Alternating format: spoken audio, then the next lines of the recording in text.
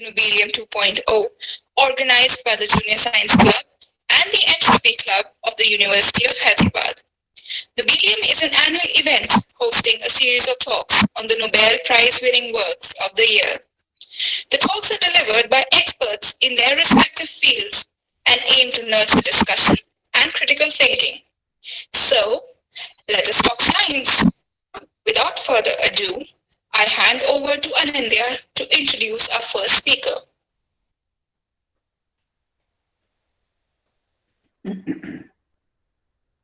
Yeah. So, uh, good afternoon, everyone. So, our talk for today, titled Physics of Disordered Systems, work of Giorgio Parisi, the Nobel Prize 2021 in Physics, will be given by Dr. Smarajit Karmakar. So, this year's Nobel Prize in Physics was awarded for groundbreaking contributions to our understanding of complex systems, with one half jointly to Syukuro Manabe and Klaus Hasselmann for the physical modeling of Earth's climate quantifying variability and reliably predicting global warming, and the other half to Giorgio Parisi for the discovery of the interplay of disorder and fluctuations in physical systems from atomic to planetary scales. So now a few words about the speaker for this talk. So Dr. Smarajit Karmakar obtained his BSc in physics from Vishwabharati University, Shantiniketan in 2001 and his MSc in physics from Indian Institute of Science, Bangalore. After earning his PhD in 2009, working with Professor Chandan Dasgupta from IISc Bangalore, he worked as a postdoctoral fellow with Professor Itamar Procaccia at the Weizmann Institute of Science, Rehovot, in Israel from the years 2009 to 2011, and with Professor Giorgio Parisi at the University di Roma La Sapienza, Piazzale Aldo in Roma, which is in Italy, from the years 2011 to 2012. Currently, he is working as an associate professor at TIFR Hyderabad. So Dr. Smarajit's research interests revolve around statistical physics, supercooled liquids, glass transition, amorphous solids, and soft matter. And Dr. Smarajit is a recipient of the Kumari LA Meera Memorial Award for the year 2003 to 2004 in recognition of being the best integrated PhD student in physical sciences from IISc Bangalore. He has also received the Dean's Fellowship for, in the Weizmann Institute of Science from the years 2010 to 2012 and the very prestigious Swarna Jayanti Fellowship for the year 2018 to 2019. Now, if there are any questions during the talk, kindly drop them in the chat box and they'll be addressed at the end. And with, without any further ado, now I would like to welcome our honorable speaker, Dr. Smarajit Karmakar, to start the talk. Sir, over to you. Okay. Okay, thanks to this uh, junior uh, science club, and uh, let me uh, share the screen now and uh, go into the full screen mode. So first of all, uh, I really like this idea of having a student-oriented talk where you guys will be much more free to interact with the speaker, and that is very much needed in an Indian community. So uh, without any further delay, let me start with uh, the work of uh, Giorgio, with whom uh, I worked uh, as a postdoc fellow uh, before coming to TIFR Hyderabad. And this year, I'm very, very proud to announce that he has been awarded the Nobel Prize. And this is a picture of Giorgio himself, with whom I had a, this is the picture which I, I removed one half of it, where I was also sitting along with him having ice cream. So those pictures I will uh, share it with you at the end of the talk.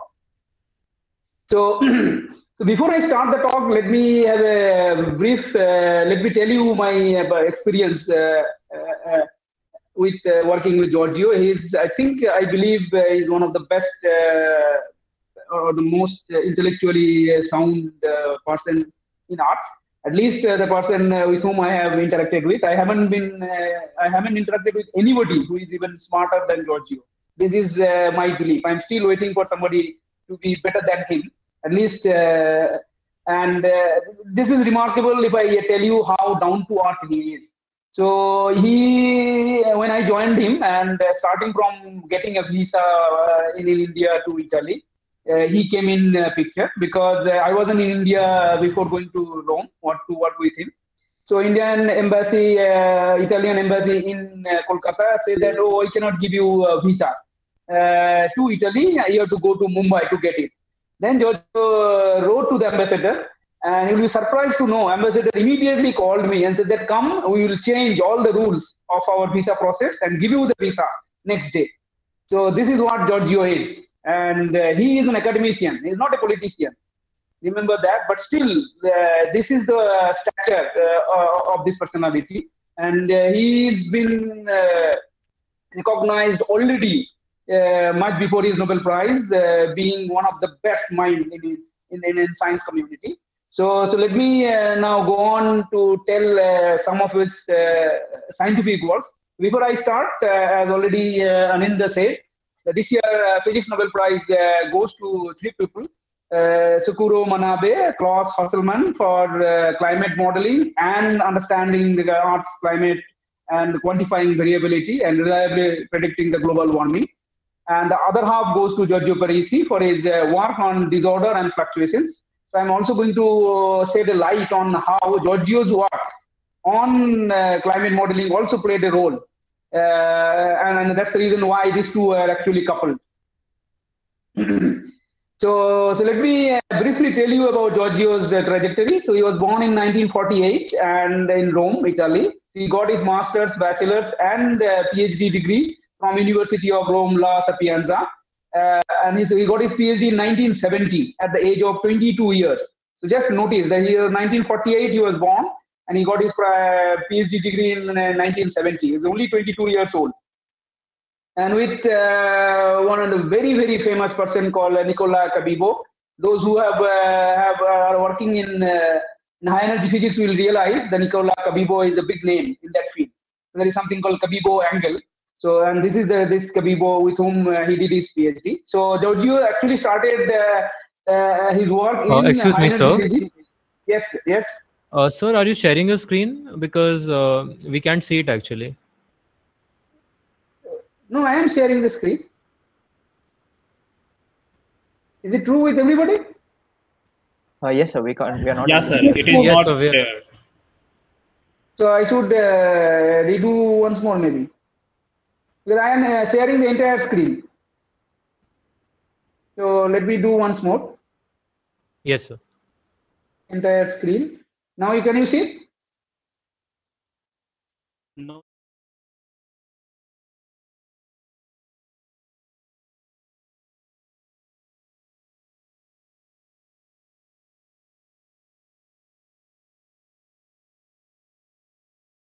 Ah, but then uh, if I go to full screen mode, uh, will it work? No, it doesn't work. Yes, sir, it was. So It actually works, sir. But uh, like, if you're comfortable with this, then it's fine because we can see the text. So no, but, uh, but there will be some sort of animations which will be missing if I go, go put it into this mode. So, but I think that is. But why the full screen sharing is not working? That I am not able to understand. So what do you want? So you want me to say put it like this?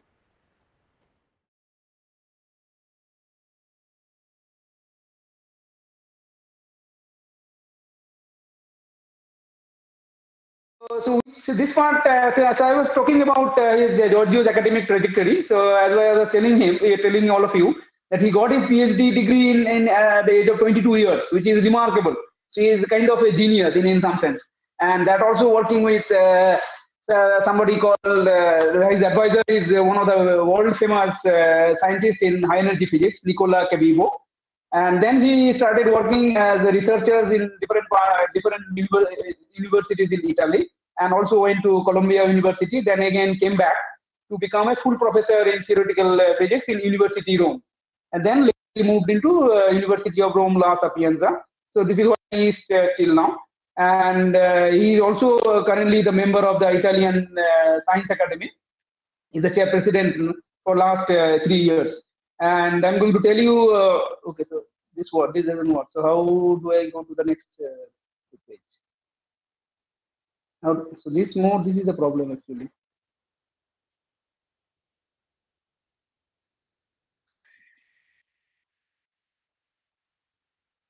So, yeah.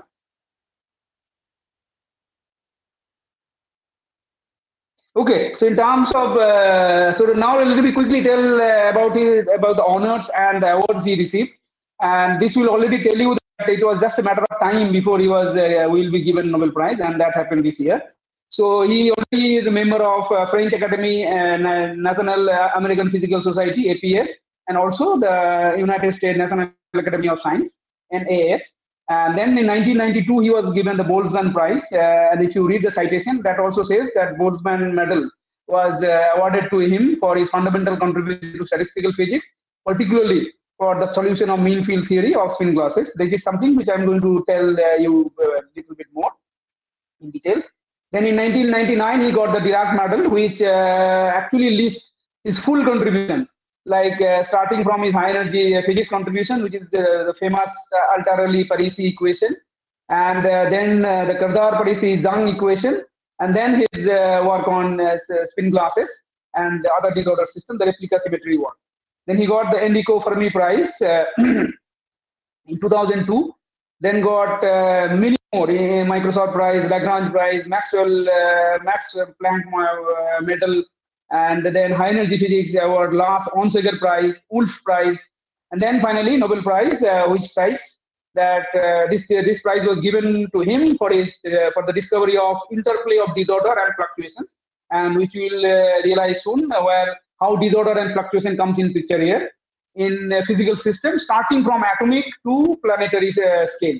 So it is really actually starting from atomic, like uh, quarks now to start with uh, to the Earth climates. if you uh, quickly look at Giorgio's uh, Google Scholar page, then you realize that this person is really a versatile scientist and uh, is also a extremely highly cited uh, person uh, in terms of his work. The first, which is extremely high cited, is his high energy physics work which is asymptotic freedom in parton language. I'm not an expert, so I'm not going to talk about all of this.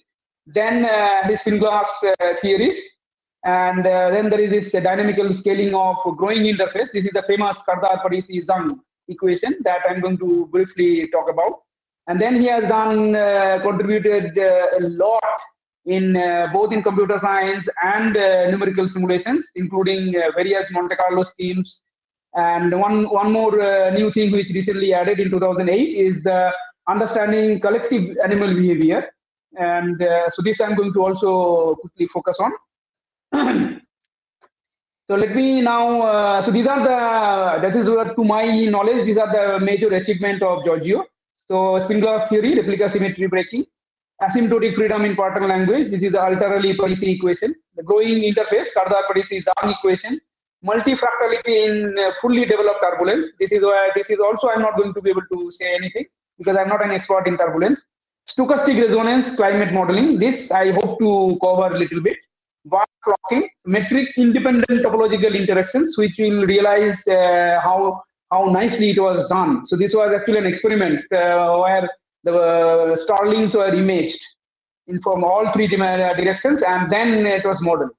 And then there are, uh, some of you probably know, simulated annealing replica exchange Monte Carlo method.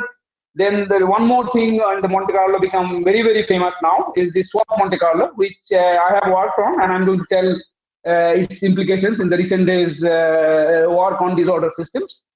And uh, on, on, on, on, computer science, there is a random satisfiability problem, something called uh, a K-SAT problem. This is where also spin glass physics comes in picture and he has contributed a lot along that direction. But again, I am, I am not an expert in this, so I'm not going to touch it. So this uh, colored uh, bullet points I will be one, which I will be trying to tell you a little bit. Also, in a different note, Giorgio Parisi is also very, very uh, is an active player in this movement of Salviamo la ricerca italiana. So basically, if you translate, it says uh, save the Italian science. So it is uh, try, try leading a movement to put huge pressure on Italian government and the European government as well to start funding on basic research uh, such that it can be uh, raised to a different level. Now it is Nobel Prize. I think uh, he will be he will have much more stronger influence on this. So so this tells you that so he is uh, also an active activist and who fights for the global cause. Okay, so now let me go to the first topic of uh, spin glasses. So what are spin glasses? Spin glasses are nothing but a magnetic system with quench disorder. So quench disorder is something which is important to understand because in general disorder uh, disorder can be of two nature. One is called anneal disorder, the other one is called quenched. Anneal disorder is a disorder which can evolve in time. For example, like uh, normal uh, the, the, disorder glasses system that uh, one looks at, the window glass, for example, will have anneal disorder. And then there is other disorder which is called quench disorder. So these are the disorders which cannot move. So given a system, these disorders are there uh, wherever they are started with. Okay. So the statistical mechanics of this kind of systems are uh, very, very different compared to the usual StatMech that we know. And this is where the Parisi's uh, work came in, uh, became a highlight. Okay. so to get a spin glass, uh, so, so what you need is a frustration in interactions. So what are frustration? So some spins, uh, so if, I, if you look at uh, this below right hand side picture, so let's say this is a square lattice and each uh, corner of this lattice there are spins who can take up and down configuration. Now this two spin, I have put the plus sign, so they are interacting by something called ferromagnetic interaction. So that means that if a black spin is uh, wants to be in the up direction, then it wants the neighboring uh, black spin, uh, neighboring spin to be also in the up direction. And uh, so if uh, if you put notice that I put plus, plus, plus and minus interactions. So this black and this black interacts by ferromagnetic interaction. This black and this black interacts by a ferromagnetic interaction again. And this black and this red interacts by another magnetic interaction. But this black lower hand, uh, the left uh, lower panel black, and the all of you can see my see the cursor.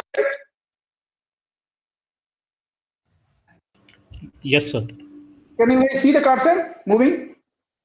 Yes, sir. Yes, sir. Yes, sir. Okay.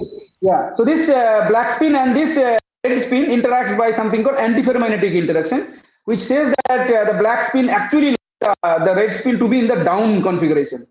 In this square lattice with this uh, given interactions, you will clearly you will understand that uh, this corner side spin will be you will have no idea of which way to point because uh, this black spin wants to be uh, wants this to be in a down configuration but the top spin wants it to be in the up configuration. So this guy is completely frustrated. So so if a system has frustrated frustrating uh, frustration in its interaction as well as quench disorder in terms of uh, impurities in the lattice then you cannot get a uh, perfect crystalline order in the spin configuration and then it leads to something called spin glasses. That's what uh, will be uh, the focus of our talk. And uh, these are not theorist imagination. They are reality. Like for example, copper, magnesium. So manganese atom is not magnesium, manganese. Manganese atom are the impurity atom, and also you have AU, Fe, iron and gold combination. And then there are many more uh, crystals which shows this kind of uh, spin glass uh, behavior. So once you have uh, this kind of uh, disorder and frustration in the interaction, and if you compute uh, the landscape, uh, free energy landscape of the whole system, then uh, it can be shown that uh, the free energy will become very, very rough. It will be very something called rugged landscape. And so this is where I'm just drawing free energy in the y-axis, and the whole configuration space is being put in an one direction, which is written as configuration. So on that phase space, if you plot, plot it, then you will see that there are many minima and many energy barriers. The system actually hops from one minima to the other minima depending on the uh, available energy it has. Sometimes if the energy is low, then it can be stuck in this uh, valley for very, very, very long time. And with the rate fluctuation, it can actually jump the barrier and come to the other valley. So this barrier crossing can take enormously large time. And this is the slow dynamics, that's what is the, the glassiness in this kind of system. And this is this is where this glass comes in picture. So we are talking about the spin systems evolving in time with a very, very slow time scale. Uh, and basically it is actually going from one valley to the other valley and searching the whole landscape to find whether there is a global uh, minima where it can settle down eventually. But as the number of valleys are exponentially large, it takes forever to explore the whole phase space and uh, it gets basically uh, stuck there and uh, and this is very very similar to the the window glass that uh, we know and uh, when i'm going to talk about them then you will also realize what is the connection between the spin glass to this uh, something called structural glasses. so, so just to under, understand the importance of Giorgio's work, so you have to quickly understand the statistical mechanics of quench disorder. So I apologize to those who are uh, not directly from the physics background or haven't even done uh, stat mech course yet. But I think this won't be very difficult for you to realize, understand. So let's uh, take a system. and as I said, we are dealing with quench disorder. That means the interactions between two spins on a lattice are fixed and it, you cannot change it uh, during the evolution of the system. So, so those cases that I am denoting uh, them by this subscript called mu. So the Hamiltonian h of mu for spin uh, s of x is basically this um, jxy sx x, x, uh, sy. So spin s at the x place and spin at y, they are basically interacting by uh, this jxy, which can take plus or minus uh, values randomly. Okay, or they can take uh, they can be drawn from a Gaussian distribution as well with a zero mean.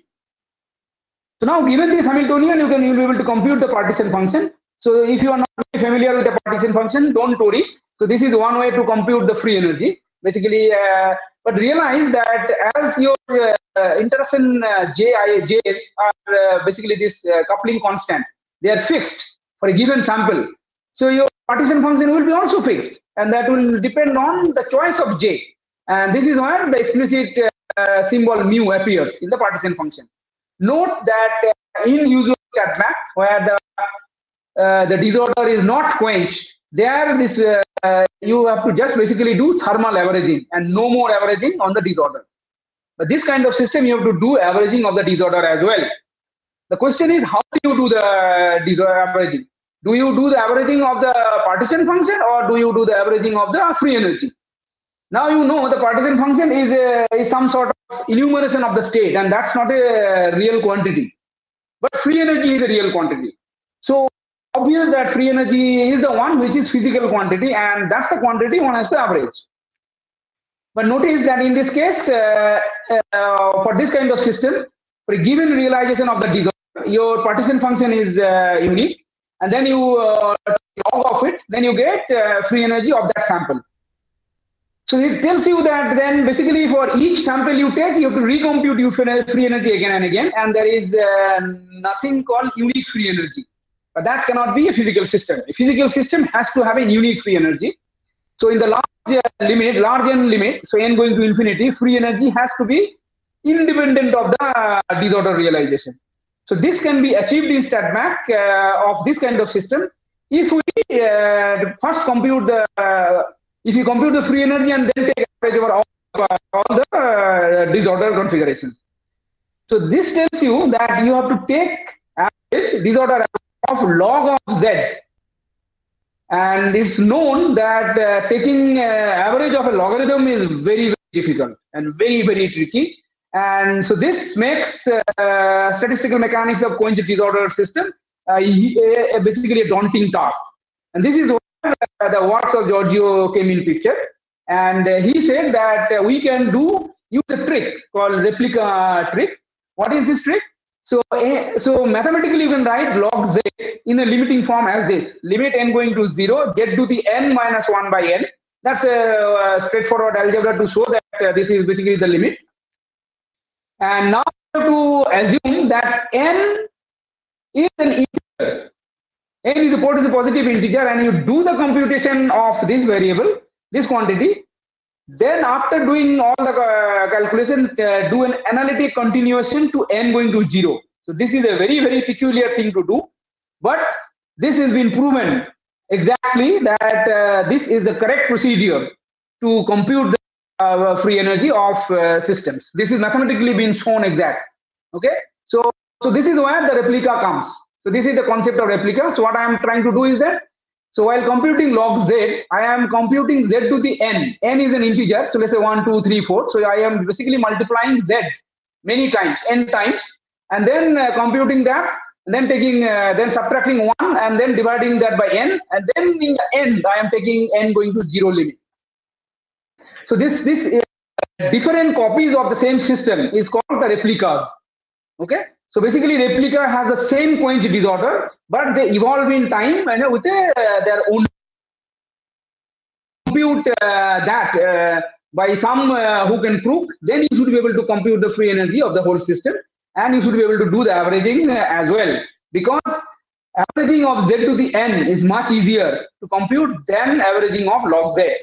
Okay, and you can easily uh, by doing some algebra, you can easily show that uh, that any quantity of any uh, that you want to compute, let's say O is the quantity that you want to compute, where uh, curly bracket uh, this uh, triangular bracket uh, means thermal averaging, and this bar means disorder averaging. So this can be mathematically shown to be basically limit n going to zero average of the same quantity using the replica replica Hamiltonian. Okay, so this is the replica trick that has been used to solve uh, this kind of problems. And so let me uh, take you quickly and take a concrete example. So one famous example of uh, spin glass is uh, this is called Sherrington-Kirkpatrick uh, model, SK model. This is infinitely long-range interaction between two spins. And if the spins interact locally, then that model is called Edwards-Anderson model, EA. Uh, and uh, so what's Hamiltonian? Hamiltonian is basically simple Ising uh, Hamiltonian, where spin at site i and spin at site j interact by this interaction string jij, and the jij's are drawn from a Gaussian distribution. So that means uh, so there are jij's which can take uh, negative values, and there are jij's which can take positive value as well. So the mean is zero, and the standard deviation is taken to be one for uh, EA model, for Edward Anderson model, and it, it is uh, 1 over n for uh, Sherrington-Kirkpatrick model. So these are uh, uh, microscope. These are details that you need not know. Just uh, take home this message that the JIJs are random with they appear randomly with both positive and negative sign.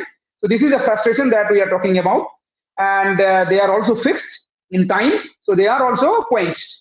So we have uh, frustration and quench disorder hidden in GIGs. So if you try to solve this model, by the, this model, uh, the Sherrington-Kirkpatrick model can be solved exactly. And if you solve this model, then uh, then uh, you will realize that uh, to explain the physics of uh, this system, one has to define an order parameter called replica order parameter QAB which is nothing but uh, you take uh, spin configuration in replica 1 and spin configuration in replica 2 and try to see how similar they are okay? And uh, then if you, if you compute it and then in the end you take the limit n going to 0 so this is the protocol that uh, the replica theory tells you. And then to solve this problem uh, people took uh, took a simple step saying that oh, all the replicas are basically same so let me take a quick uh, simple ansatz, which is called symmetric uh, form of the replica. So your uh, replica parameter QAB is nothing but 1 minus delta AB Q. So if you put it, uh, then uh, you can get a, uh, you can solve this problem and you can find out the free energy. Free energy turns out to have some of the essential physics, which is that temperature called critical temperature. It goes into a paramagnetic phase and below uh, critical temperature, it goes into a spin glass phase with uh, QAB non-zero, uh, QAB which is non-zero. But the problem uh, becomes that this solution uh, turns out to be turns out to have a lot of issues. If you compute entropy uh, below the transition temperature, then the entropy turns out to be negative, which is extremely unphysical because entropy cannot be negative. So there, there is a issue with this solution. And it also uh, turns out that uh, the spin glass phase becomes unstable below the critical uh, temperature. And then Georgios came in picture and he said that so mistake is uh, in this assumption of QAB being symmetric. So if you, unless uh, you break this symmetry, you won't be able to understand the physics of spin glass phase. And this is where the replica symmetry breaking ansatz of Giorgio came in picture and uh, and that solved all the problems. And as I said, that this was later mathematically proven that uh, his ansatz is an exact ansatz for solving all this model, all these uh, model systems, and so uh, the, spin glass uh, phase transition. So what is this replica symmetry uh, breaking? So to quickly understand it, so let's say our initial assumption was this, that my order parameter QAB is nothing but 1 minus delta AP cube. So if you write in matrix format, it will look like that all the element of an n by n matrix, if you take n replica, it will be an n cross n matrix.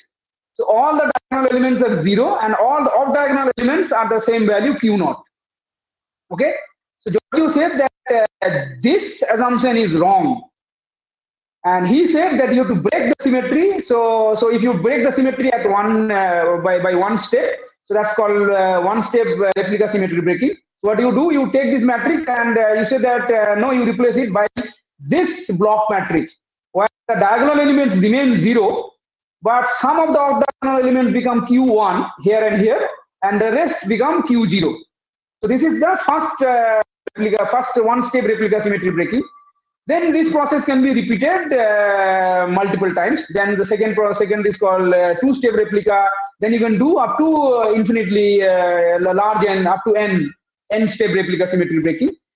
And uh, that way you can, uh, that way what it becomes that your order parameter now takes multiple values, Q0, Q1, Q2, Q3. And, for, and in the limit, it becomes just a function. So the order parameter in the usual sense is not a scalar quantity, it's a function itself. This was the prediction of Giorgio Parisi in 1979. Uh, in 1980, in his, this uh, two papers of uh, him, a single author paper. And so in the later stage, uh, so there are many uh, numerical simulations uh, done by many people, including Giorgio himself. so where he computed the, this the order parameter distribution and showed that indeed the spin glass uh, order parameter uh, takes the form that is uh, expected from the theory itself.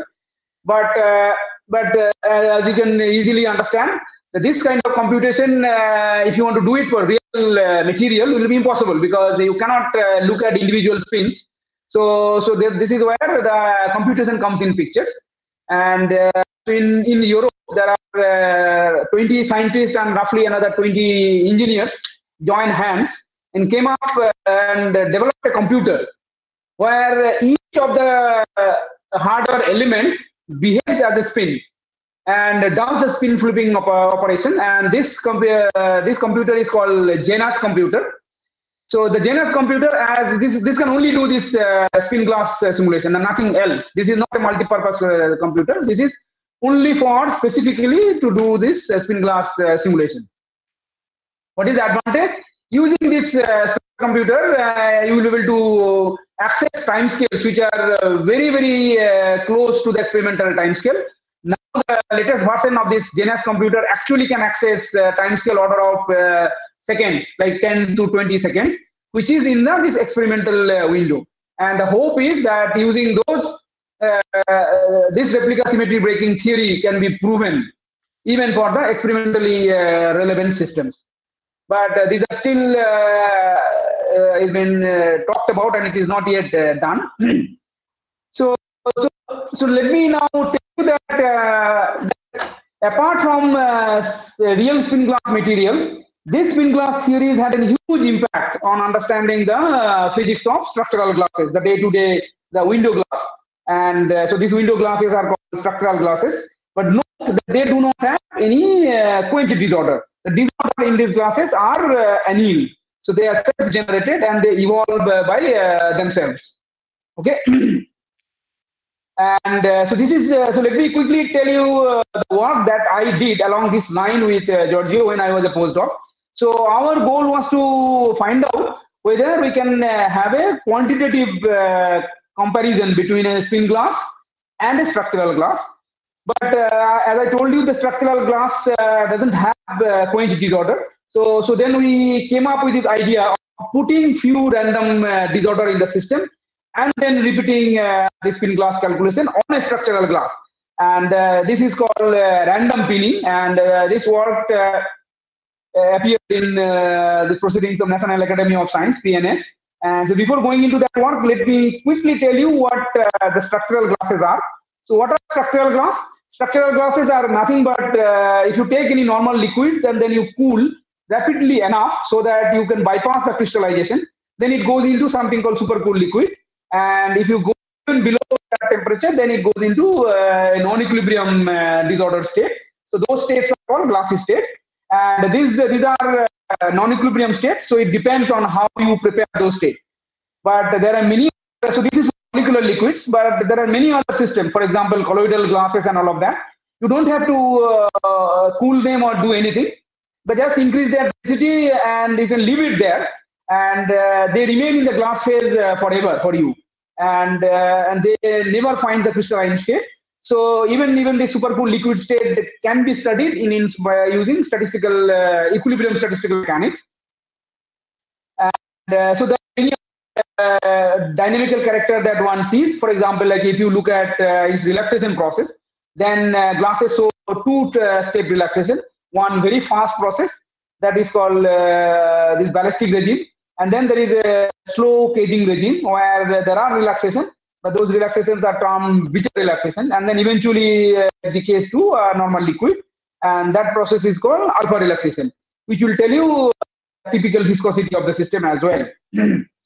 and uh, so one major challenge in these glasses are that if you take this system uh, and you take it at high temperature, for example, this is an experimental data of, uh, of the uh, radial distribution function of selenium glass at 900 degrees centigrade, cooled up to 258 degrees centigrade.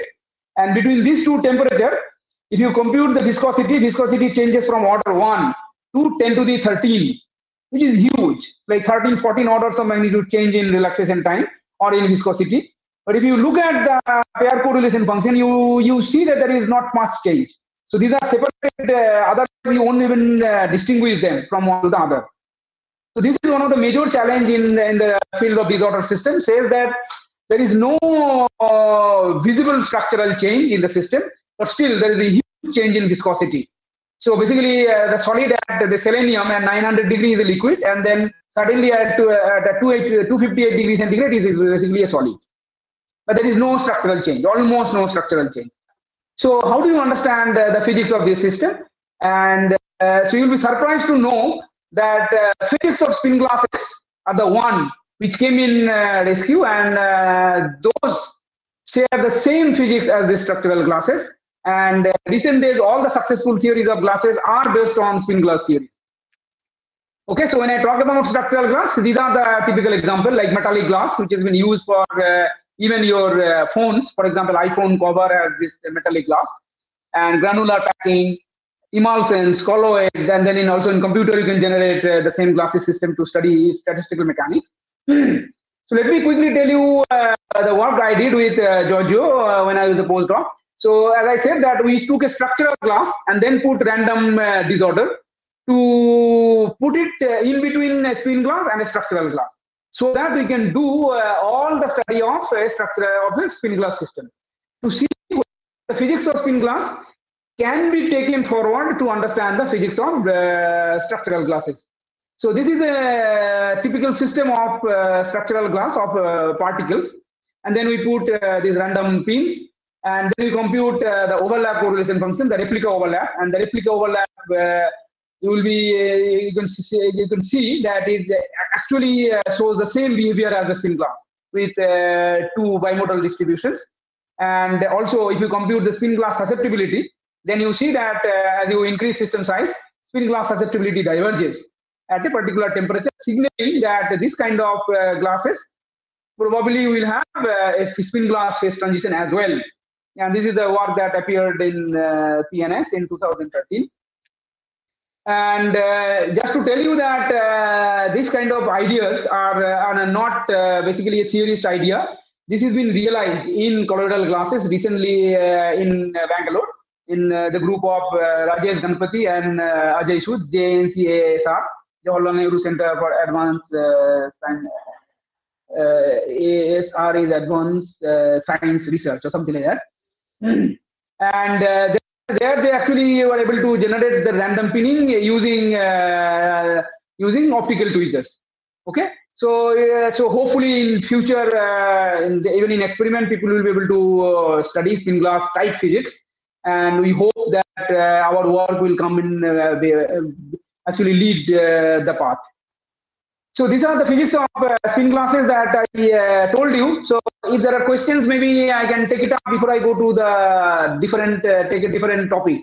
Because Giorgio worked on various topics, and this is where I'm going to tell you, talk about starting from particles to a planetary system. So this is the particle level. Now we go into uh, go into mesoscale in the flocking, and then we'll go into planetary systems. Okay, if there are questions, then uh, stop me. Otherwise, I will go into the next one. Or you want uh, to ask the question in the end? So whatever it is. Should I uh, stop here and then uh, take questions, or we move on? Uh, sir, actually, uh, we checked the chat box and the YouTube live stream also. There are no questions as of now, so you can continue. Okay. We, I think we can take it at the end. Take it at the end. Okay, great. So, so now move on uh, to another uh, new work, which is called uh, collective migratory behavior of animals. And uh, let let's hope that this is, uh, going to run. And yeah, it's running. So this is a video of uh, starlings uh, on on a on a lake, and in the afternoon uh, they start to move around uh, to eat the insect, and you see the beautiful uh, patterns it uh, forms.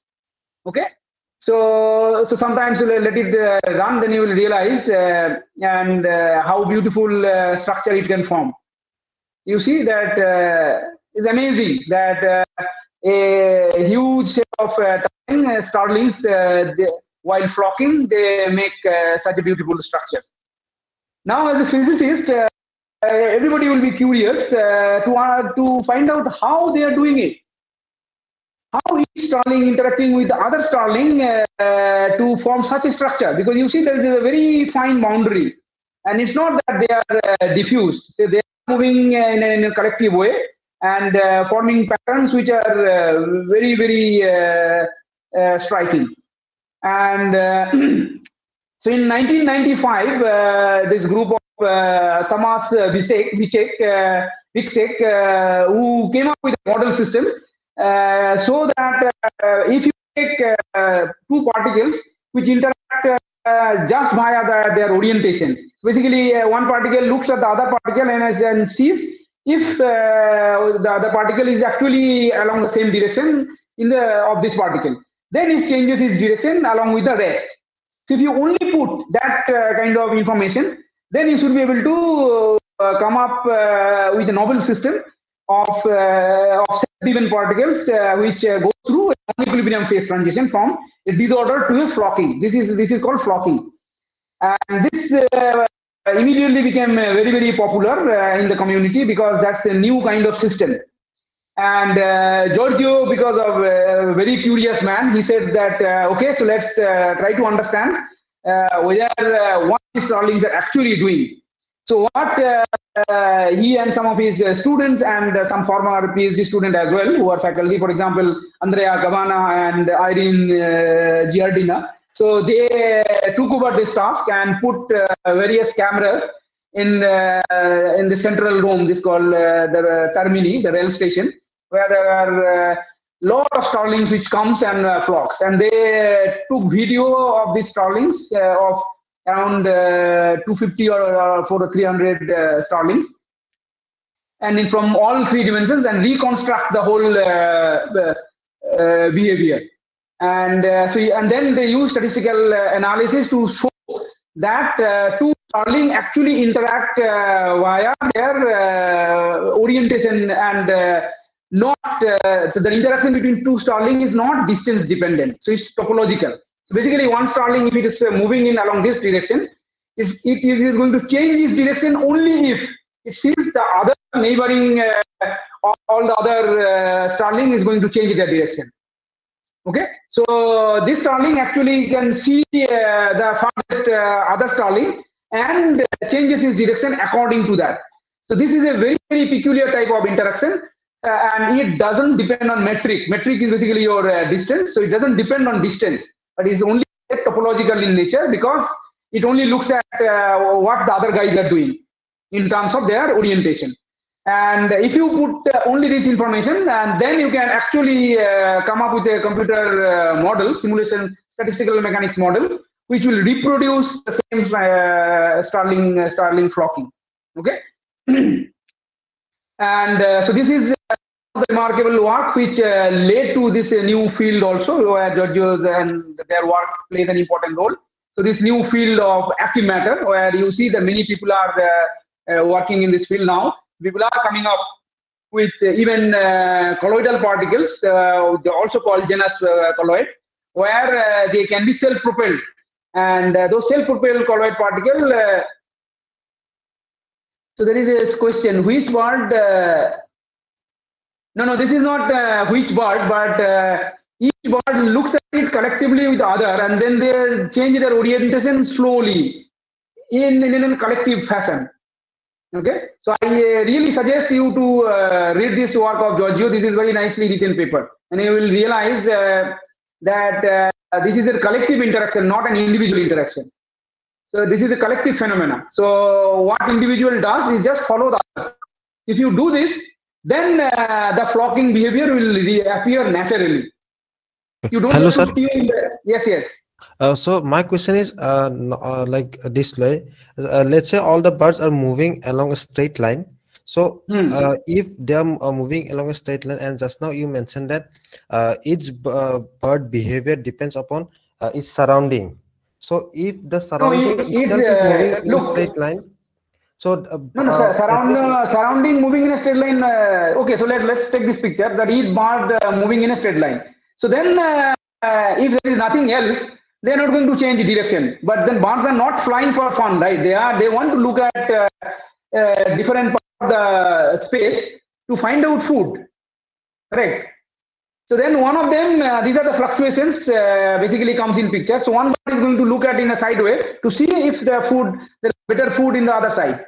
And if it changes uh, one of them just via fluctuation, this is where fluctuation comes in picture. If one of them changes uh, the direction uh, because of the fluctuation, then the others will start to uh, collectively follow the same. But this won't be in, in this is not an individual like it cannot be done by an individual bird. It has to appear in a collective manner. So this is, this is something called uh, collective phenomena. There is some sort of a phase transition that is going through. So beyond certain uh, interaction strength, so that the system uh, uh, go from a very very disordered state to a flocking mode. Okay. So I, I really uh, suggest you to read this paper and the paper of uh, this Thomas uh. And maybe in the end we can I can take uh, we can discuss uh, a little bit more in detail. Okay. So let me now uh, move on to uh, one more thing. In now this is a computer algorithm, so where also Giorgio played a very important role, and I will tell you the implication of this work in recent days studies. So this is called uh, swap Monte Carlo. Many uh, many of you probably know Monte Carlo technique of uh, studying doing simulations. So this is a technique which has been used to uh, study a dynamical uh, study a particle system or a spin system and try to uh, see how you can explore the phase space. Okay? and this relies on something called detail balance, leading to ergodicity and equilibrium. So most often for glasses, uh, this is very very uh, difficult to do because often these uh, states uh, get jammed into or get stuck in one of the minimum, and it takes very long time to come out. So the equilibration process becomes very very slow. So your uh, phase phase exploration becomes very very slow. So uh, in 2000, uh, so this is in 2001 or 2, 2001. So Giorgio, which is one of his students, Thomas Grigera, so came up with uh, a fast Monte Carlo technique where I say that along with usual Monte Carlo move, what you do, you also do particle swapping. So look at uh, this green shaded area and take a big red particle and a small black particle. Then in the next step, what you do, you just uh, swap their position. Okay. By doing this, just simple uh, step like this, you can actually uh, increase your uh, equilibration process by many, many orders of magnitude. So I will show you data where the equilibration process can be accelerated by 10 to the uh, 7, 8 times, sometimes 10 to the 10, depending on the model you take. Okay. so this is just a simple uh, Monte Carlo uh, move change uh, com- com- compared to the usual Monte Carlo, and that has a dramatic effect on the, the whole system. And I uh, really encourage those who are working along this line to have a look at uh, swap Monte Carlo technique as well. And And, and then uh, the, the, the story goes uh, like this. So, so when uh, they did this work, uh, when Giorgio did this work with uh, Thomas Grigera in 2001, that time they were trying to do it with a binary system. And, uh, and you can understand that a large and a small particle swapping will be very, very difficult to do because uh, this will be very dense system. So this method wasn't very uh, popular at that time. So and then I started working with him in 2011 to 2012. So then uh, well, I, I was about to come back to TIFR in 2000, end of 2012. Then he suggested me that uh, why don't you try uh, doing so swap Monte Carlo using uh, uh, ternary part system where you have uh, small, medium, and large particle combination. So that way, what happens that the swap moves becomes uh, much more efficient. So this was uh, a kind of uh, fantastic idea from Giorgio's uh, head, and uh, so this is the that we took it up with one of my uh, former postdoc advisor and with Itamar Procaccia. And so we looked at a ternary model system and we were able to show that we were able to equilibrate the same system to much lower temperature where your relaxation time can be as big as 10 to the 15. Note that in computer, uh, you won't be able to equilibrate, uh, go beyond 10 to the 5. This is the place where you stop. This is the red dots where we stop generally, but you are able to go to 10 to the 15. Okay, and that tells you that uh, you can actually speed up the process by uh, 10 to the 10, which is enormous. And after this work, uh, there are many groups which uh, came in uh, came into that field. And for example, a group of Ludovic Berthier in in in France, along with Daniel Coslovich and, and Patrick Charbonneau is in US. So they joined hands and looked at uh, hard sphere system where, uh, with polydispersity. Where you take instead of ternary model, you take a continuous uh, systems uh, particle size so that the swap uh, move becomes even more uh, uh, efficient. And they are able to show that using this method, you can actually generate a glass state, which you won't be able to even do via real experiment. So they are actually breaking the experimental glass ceiling. And they are able to show that uh, it seems there are some sort of uh, serious uh, possibility of having a glass transition at least when you compute uh, configurational entropy. And uh, the same thing was uh, done even in for uh, two-dimensional uh, glasses. Two-dimensional systems are very important because uh, many colloidal glasses and are, are in, in two-dimensional form. Also, many thin films, glassy thin films are also in the same form. So whether there is a glass transition possible or not, so this work using the same swap Monte Carlo kind of technique has been shown uh, that in 2D you won't be able to uh, get a glass transition at uh, at any finite temperature. The glass transition is probably going to happen at zero temperature. And now there are a plethora of works along this line, and also understanding how glass uh, behaves under deformation. For example, shear banding and how glass breaks.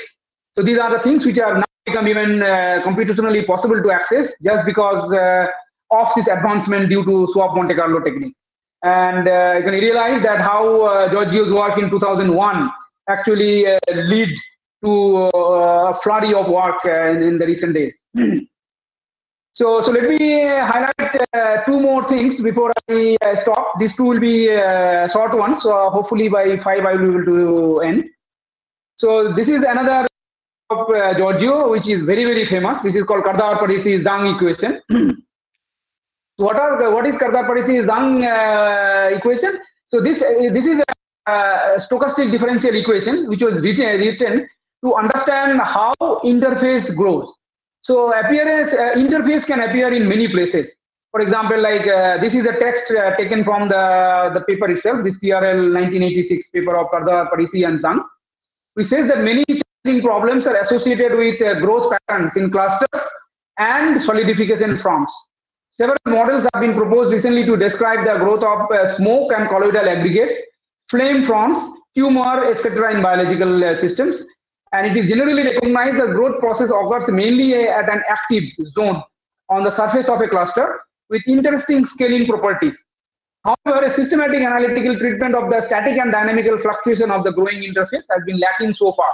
This is the time when uh, they came in picture, Kardar, Parisi and Zhang, and uh, came up with this very simple uh, stochastic differential equation. So what is this? So this H is a, uh, is a field at uh, is a height field. Let's say if you take uh, any of these fonts, these are all taken from different papers. So if you compute the height, let's say from your substrate to the top, so this is your h, and h will be a function of your x-axis, and then it is going to evolve because the front is evolving in time. So this, uh, and if you study this evolution of the front, then you can actually show that the scaling properties are actually followed uh, via the same differential equation, which is written here. So this del H, uh, del T is basically nu is basically some sort of a diffusion constant, and grad square H is the is the diffusing term, which actually smoothen the interface. And the second terms gives you uh, uh, the contribution coming from slope. So if you have like wedge kind of structure, then how the is going to appear. this will be captured if you put uh, this grad h square term. So this was one of the important contribution from the older uh, equations that was written. So that's something like Edward uh, Wilkinson model. Along with the noise term. And this noise term uh, has the typical uh, characteristic uh, of a Gaussian noise. So the mean will be zero and the standard deviation will have some strength. So and D is the diffusion constant. so it turns out uh, Kardar-Parisi Zhang equation is something which is very, very universal. And there are many, many models which can be mapped back into the same model, including uh, there is this uh, equation called Burgers equation in uh, turbulence, which can be also mapped into the same uh, Kardar-Parisi-Zhang equation, leading to uh, something called KPZ or Kardar-Parisi-Zhang universality class. There are many, many model systems, uh, starting from soft matter to biological systems, to even uh, rock formation and uh, and flow through porous uh, medium. All that falls into the same category. And so this actually lead to a, a, new direction altogether. Okay so i'm not going to go into the details of Kardar Parisi Zhang because i haven't worked on this. I'm just giving uh, overview of it and uh, now let me quickly tell you about uh, the connection to climate change so giorgio one of the famous work is this something called stochastic resonance. So, so this is a work uh, published in uh, this unknown, almost unknown journal called uh, Tellus. And uh, the story goes uh, that, that they did this work in 1980, but could not publish it because uh, nobody accepted it. In, and then finally they were able to publish it in 1982, after two years. So this is the one of his Giorgio's uh, student, Roberto Benzi, who's a very well-known uh, scientist, and two more collaborators, uh, Sutera and Vulpiani. They are also very well-known figures in fluid dynamics. So what is this problem of climate change? So it is known for, at least with the previous data, that the ice age appears periodically in time. And this stochastic resonance, uh, they realize that stochastic resonance can be uh, might be the one which is actually driving this periodicity in uh, recurrent ice ages. So what is the info main information?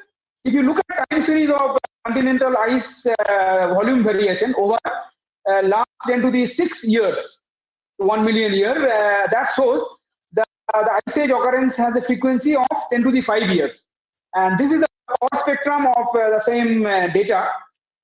You see that there is a very short peak at uh, 10 to the 5 and uh, uh, 10 to the 5 years. And then there are small peaks at uh, 2 into 10 to the 5 and another at 5 into 10 to the 5 and uh, so it was uh, very surprising what can be this kind of astronomical time scale and people then realized that it may be that earth's rotation around sun and and the possible changes on that can be related to this. And closest uh, time scale known to this, uh, to 10 to the 5 year, is this modulation of uh, of its orbital eccentricity caused by other planetary gravitational uh, perturbation. So this result in uh, variation of total solar energy that falls onto Earth uh, by only 1%. There's a very, very small change in how much solar energy we get uh, over years. And that cycle appears in a 10 to the 5 years. So the question is whether uh, this small uh, periodic perturbation in the background can uh, lead to such a sensitivity to climate uh, changes. And it turns out uh, the answer is yes. And uh, so, so they, they written down a very simple stochastic equation. Let's say X is some sort of your temperature, maybe in for the Earth model. And then uh, if uh, it has the two uh, stable, the two state, one is cold Earth and one is somewhat hot Earth, then there are two minima. And then if you let it go with uh, normal fluctuation like uh, sea surface temperature, sea variation, or other uh, wind pattern, and all sorts of solar fluorescence, flare, flare, and all of this, then there will be stochastic noise coming into picture. So the system can, in principle, jump from uh, one minima to the other minima, so cold earth to hot earth. And if you more, simulate it, then you can be in one uh, stable configuration, and then suddenly you can go to other stable configuration and can be there for very long. Then you can go to again the other configuration, and then uh, when the transition happens, this is very, very uh, stochastic. This is what the stochastic means. This is very, very aperiodic. Now on this uh, system, if you put and add a very small uh, periodic variation in terms of this A sine omega t, and this is what is the Earth's, uh, the, the total uh, solar energy, the variation in the total solar energy the Earth gets from sun. If you add that variation over 10 to the 5 time scale, and then uh, uh, the, the signal in A and signal in B. So now if you simulate the same system using this periodic perturbation, then the answer, uh, the, the system uh, shows remarkable periodicity. The system uh, goes stays in one configuration and then goes to the other, and it does very very systematically with very specific time scale. So this is what is called stochastic resonance, where noise, along with a very small perturbation, uh, goes into a mode which is uh, very very periodic and it is very very similar to uh, something called uh, is a kind of a resonance phenomena. So where you choose one particular time scale and you show very sharp behavior at that time scale. Okay? So so this this actually is believed that uh, this uh, solar uh, the ice age uh, occurrence and its uh, specific periodicity uh, probably linked to uh, this kind of stochastic resonance in climate uh, science and this played a useful, important role even in uh, recent days climate science modeling.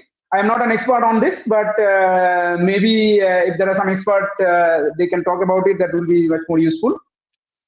So I am hinting that uh, uh, even goes stretches up to up to a planetary scale, and you will be surprised to know. And if you do a Google search uh, of stochastic resonance, then you will realize that this resonance appears in, uh, in a wide variety of systems, including biological systems, where stochastic resonance plays a very, very important role. so let me uh, stop uh, here and I will quickly tell you. So Giorgio, uh, as I said, is a very, very versatile uh, person and worked with a lot of scientists, lot of people all across the globe. And uh, this is the full list of collaborators and my name also appears in uh, some font somewhere.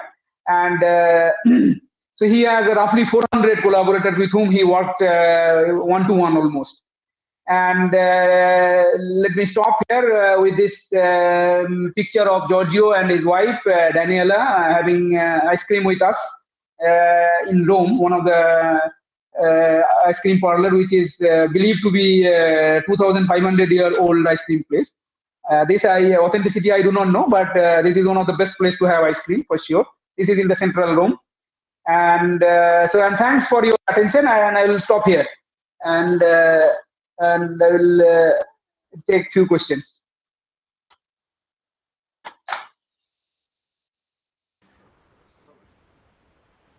Mm, yeah, uh, thank you, sir. Uh, thank, that was a really excellent talk. So now, So maybe uh, I uh, so switch off the sharing, or maybe I leave it uh, this yet. That will be probably no. Maybe let, let it be like this. Okay. If Okay, are questions, uh, let me know. Uh, yes, sir. So uh, anybody who has questions can post it in the chat box, or you can also directly address them to sir by opening your own mic and speaking. So yeah. Yes, yes.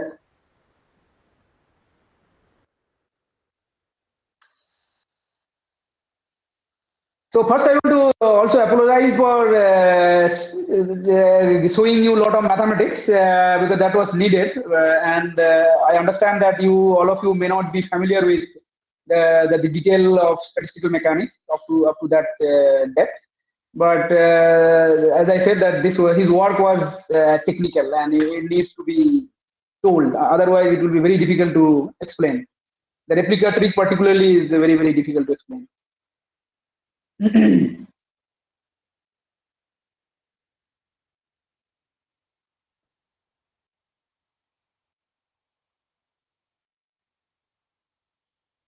So if you do not have questions, maybe uh, uh, you feel free uh, to write uh, email to me and I Uh, will actually, reply um, back. Yeah. There yeah. are, uh, So um, I also I had a question actually. Yes, so, yes, please. Um, so what are the uh, like conclusions of the work of Giorgio Parisi like on the complex system? So complexes, these are uh, like it is many fold actually. So this is where, uh, so let me uh, put up the uh, slide again here. So, so for example, this is the main major achievement. So spin glass is a complex system, very, very complex system. And uh, you will be surprised to know that uh, this spin glass theory has applications even in stock market.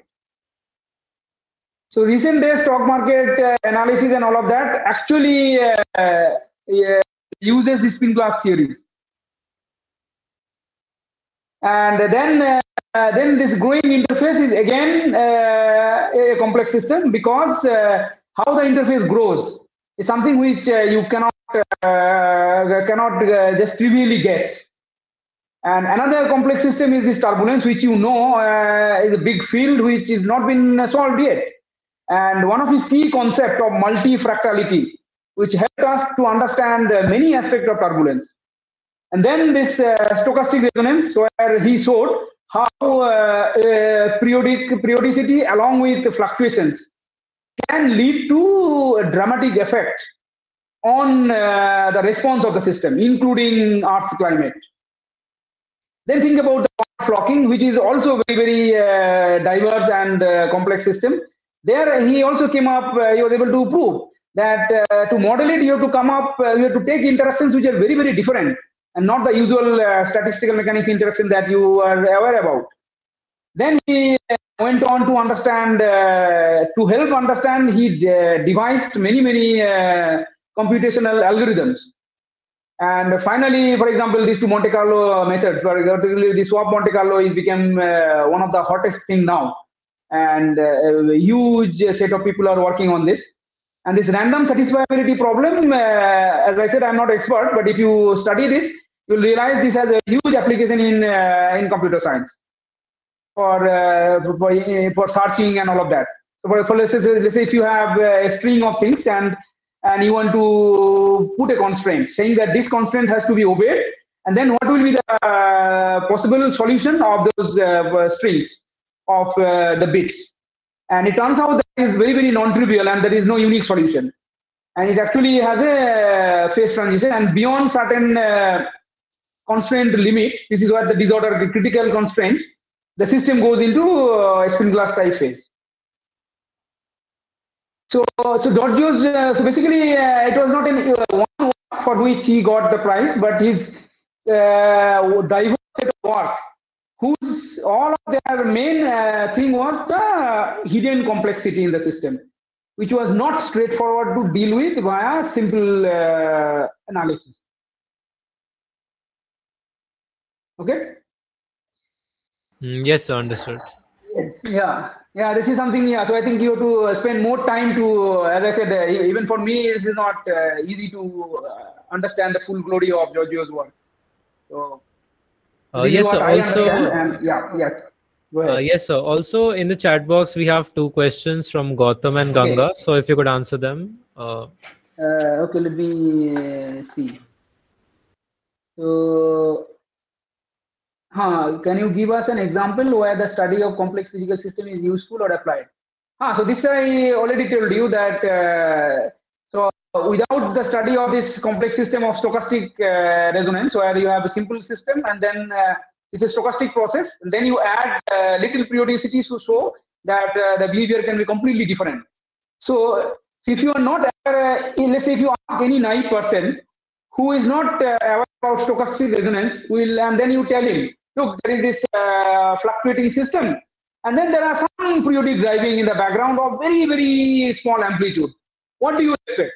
The system will be uh, very different suddenly or not? Most people will tell you that no, no, no, come on, small perturbations to a fluctuation cannot do anything. And uh, then uh, the stochastic resonance goes against all of this common sense and tells you that uh, it gives you completely different set of answers. And also, for example, Kardar Parisi Zhang equation tells you that uh, how interface grows. As I said, that if you take a bacteria set of bacteria and the colony, and then it uh, colony grows, then there will be an interface. So that colony growth interface is also uh, will be an interesting thing to study, and that has biological importance. So how do you understand those? For example, like uh, like if you take a porous uh, medium or rock, let's say, and then flow water through it, then what do you think will be how the water is going to flow through it? So there will be interface of uh, water because uh, the water is going to go to these capillary pores, and there will be other interactions. And it turns out this Kardar Parisi Zhang uh, equation comes in picture again there. So, so this kind of uh, studies, for example, a spin glass theory has application in uh, stock market, for example. And spin glass theory has application in uh, understanding structural glasses. Unless you understand structural glass, you won't be able to use them. And you know that glasses are uh, has a lot of uh, applications in reality. I, I can give a separate talk on glasses and tell you that you also do not know uh, that uh, in all your day-to-day life, glassy objects, uh, materials are used, for including your toothpaste. That is and a cream. These are all glassy. These are all in, in their dense disorder state. And when you squeeze them, then they, they changes their property from uh, thick suspension to, to thin suspension. And then uh, this is called uh, shear thinning. And there are many, for like example, cornstarch uh, which goes for the opposite behavior, shear uh, thickening behavior. For cornstarch, for example, if you stand on this, then you can you will stick into it, the in this cornstarch. But if you you can run on the cornstarch, then it will feel like a solid.